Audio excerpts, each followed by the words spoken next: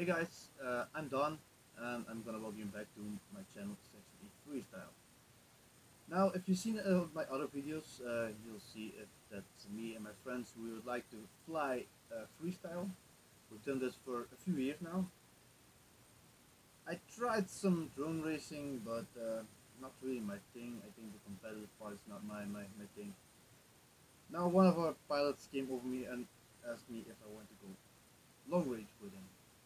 So I did my research, uh, looked what components I can use, and I got this bad boy.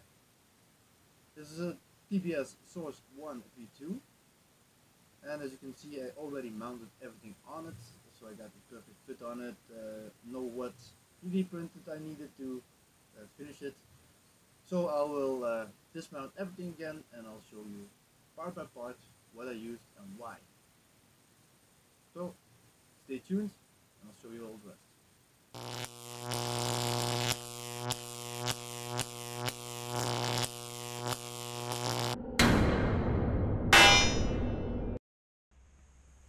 Well, I took off all the parts. Uh, a few are still on it, but uh, I can show you uh, why I chose this frame. The frame itself, it's uh, it's big enough. So when normal frames are center builds, now I got the, the front and back uh, on it, so I can have more room to put more components. So you can see in the center I, I got my screws ready to put on my uh, flight controller. In the back I designed a little mount, a little tower for uh, my rest component, which is one of uh, the, the VTX and my lost lost alarm and in the front you got your camera. So room enough room to build everything. I changed it from a 5 inch to a 7 inch. And if you can see I will make a little bit closer. You can see it are pretty thick arms. So keep in mind if you uh, want to order spares you got the same thickness. This gives me the problem with my motors uh, I got the motors with the bolt for the, the, for the prop and I got the four screws to mount my motors onto the arms. Now for the thickness I got the problem my screws wouldn't be long enough. So I had luckily I got spares in, in the in my closet. So I chose other screws. A little bit longer so it's a, they can fit the mods I'm gonna put on are the um, Ummagawd uh, 1777. Um, they look pretty nice, just at the the, the shape of it. And luckily, uh, TBS sent me some, but due to the customs here in Belgium, I had to wait a few months on it. So, luckily, I got uh, finally got them, so ready to mount. As you can see, I always fix them like this that they look good. So I only have to wait for some protectors to put on it. The flight controller I'm gonna put on it is the T-Motor 722 with the 55 amps 4 in 1 ESC. So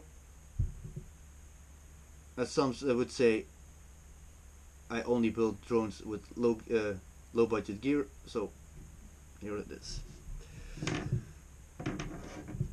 Next, I got on the back.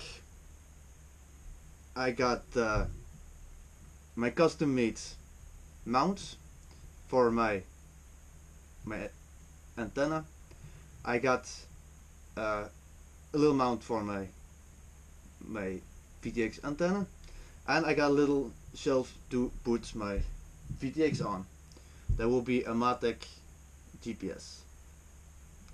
The SAM8Q. So I think I almost uh, all have it. Within the stack I got my lost alarm. I have to change a little bit.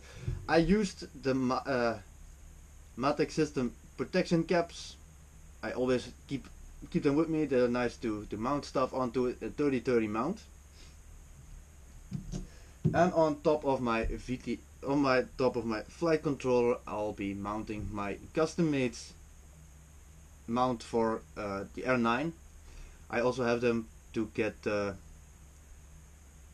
the R9 and the TBS Nano next to each other but uh, this one's center the VTX that I'll be using is the TBS Evolution that I ordered a time ago but never used so this is my first and for long range I can use it perfectly. So let's get it mounted and uh, see how it looks when it's ready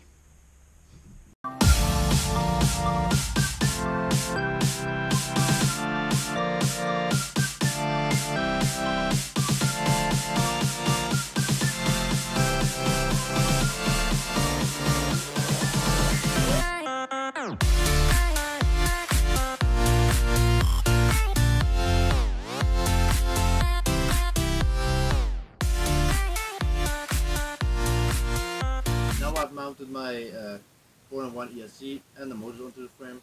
Now we're off to the soldering station to connect them all. So uh, I finally managed to attach all the motors onto the, the ESC, just the way I wanted it to be. Uh, it took me a little longer as suspected for uh, my wire protectors. I had to redesign them, they were too fragile, but uh, they worked out pretty good, as you can see like this.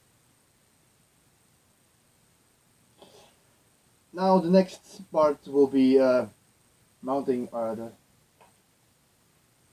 T-Motors F722 and uh, attach all my other components onto the flight controller.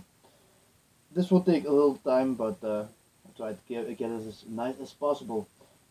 What's nice on this flight controller or this entire stack is they man they gave me a lot of materials to work with. Like uh, you have uh, for your wires if they're too short or just by uh, protecting them for, uh, from prop uh, prop strikes. They added some wire plates. They have spacers they had the longer screws to put through the frame into the flight controller. So on that case a pretty nice stack. So back to the tables and uh, let's wire everything on it. So far so good. Uh, I mounted everything on the on the drone, so I got my uh, flight controller set up. I got my receivers uh, connected. Uh, my VTX works eventually. Uh, my lost and found alarm is on it. the camera is working. Everything has been tested. Everything has been set up.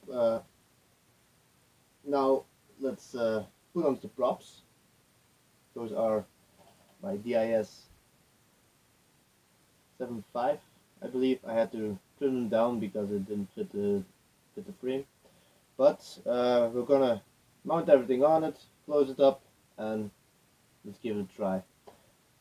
My only problem I have so far is uh, I got the TBS Evo that couldn't get any uh, power from the flight control so I have to check this uh, that out. Uh, for rest minor problems but uh, it works. Now let's give it a try and uh, see what it gives. Now if you like this video uh, and you want to see more of this just tell them in the, the comments below. If you have any advice on me what I can change on this uh, make it better looking even working better also put a link in the just put it in the description down below.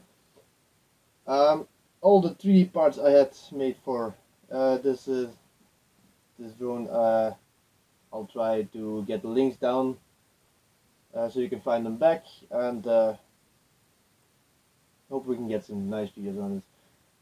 Thanks for watching this video. If you like it, uh, do subscribe. Hit the bell if you like if you want to see more of my videos. and don't forget like this video. So, on to the next and see you next time guys.